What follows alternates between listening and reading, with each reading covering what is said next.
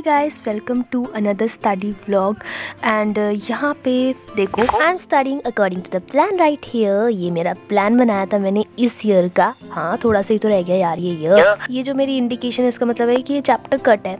अब ये वाला चैप्टर फ़र्स्ट चैप्टर है तो ये वाला स्टार्ट करते हैं यहाँ से। एंड पहले ही बता देती हूँ कि यार ये कचरा है ना जो साइड में वो सब इग्नोर कर देना। ये मेरा कचरा नहीं है मेरा काम का सामान है तो मैं साइड में ही रखती हूँ। एंड अभी मैं ना इतना ऊँचा से इस वीडियो को रिकॉर्ड करी थी मतलब जुगाड़ लगा के। और तभी यहाँ पे मैं भी आ रही हूँ थोड़ी थोड़ी यहाँ पे साइड में।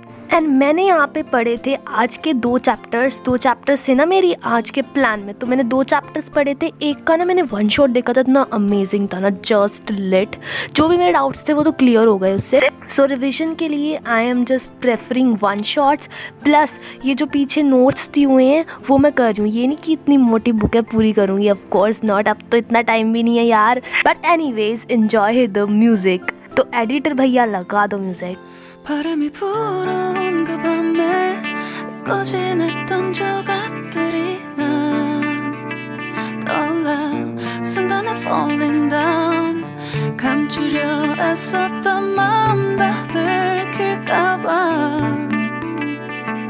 도망가 버렸지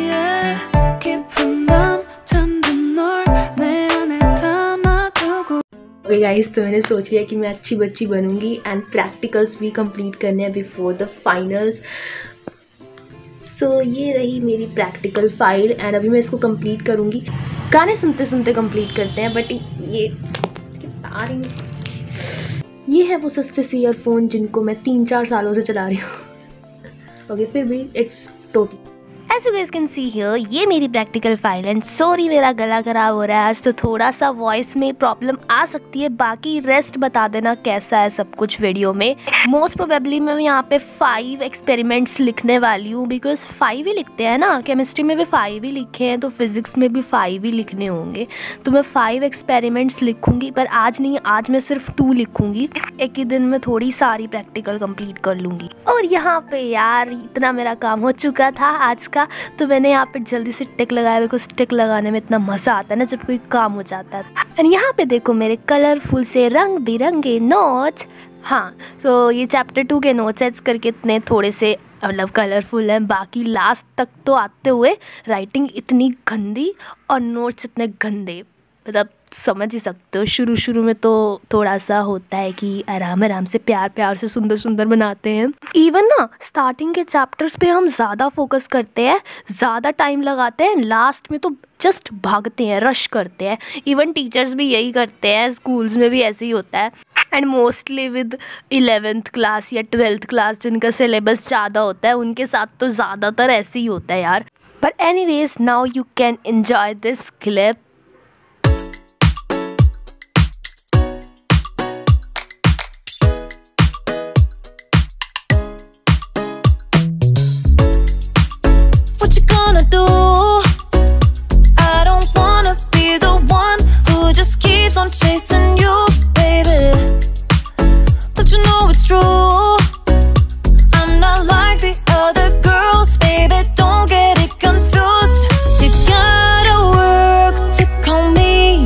okay guys let's end up this video right here. I hope you guys enjoyed this one. If you want more such vlogs then subscribe my channel.